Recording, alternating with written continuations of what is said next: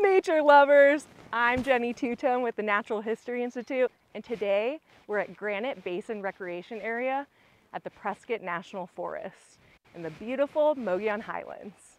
And we're going to be talking about four common flower families.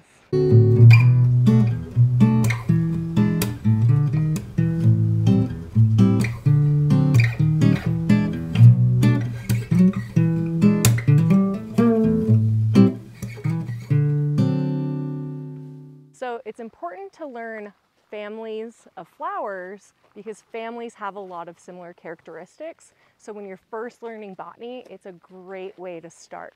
You start seeing those patterns and then you can further ID it to species. The first family we're gonna look at is the mallow family, Malvaceae. It has palmate leaves, so in the shape of a palm. Sometimes when you crush them up, they'll be a little slimy. So that's an indicator of the mallow family. Then if we look at the flower, it has five separate petals that kind of form a funnel shape. And then we have three to five sepals that are sometimes united. And then a numerous amount of stamens that form a column around the pistil. So the main thing we're looking for with the mallow family are those five separate petals and the numerous stamens around that pistil.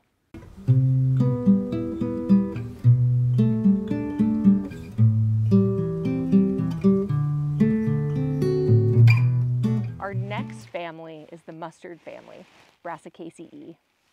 Mustards have four sepals, four petals, and the petals are often in a cross shape or an H shape.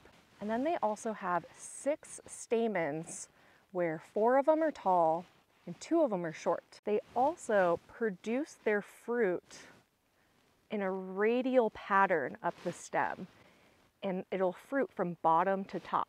So oftentimes if you see a flower with four petals and the fruit down at the bottom with some flowers still above, it'll be from the mustard family.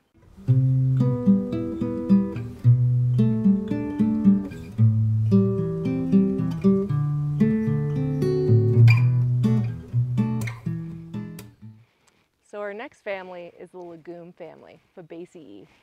And we're not going to talk about the whole family, we're actually going to talk about a subfamily.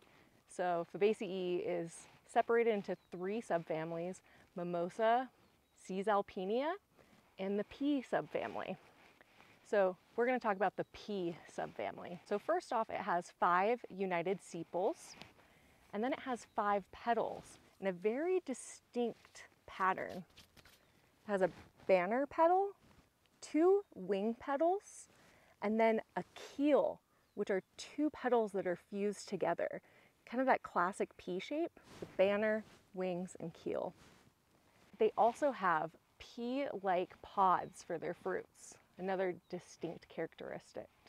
Okay, so for the Fabaceae family, we're looking for five petals in that banner, wing, keel shape, and then pea-like pods for fruit.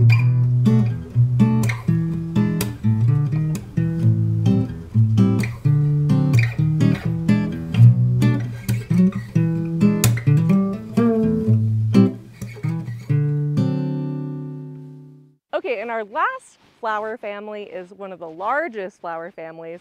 That's the sunflower family, Asteraceae. So the special things about asters is that they are composite flowers. This one single flower is actually made up of multiple flowers. So on the inside, we have what is called disc flowers.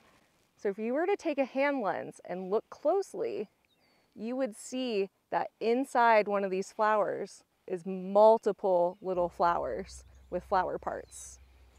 And then what appears to be petals on this are actually individual flowers called the ray flowers.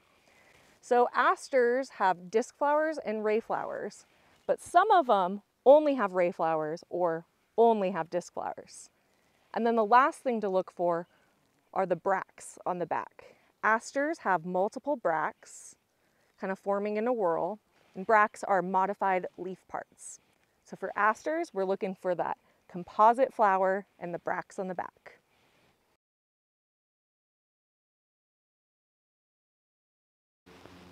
So today we went over four families, Malvaceae, Brassicaceae, Fabaceae, and Asteraceae.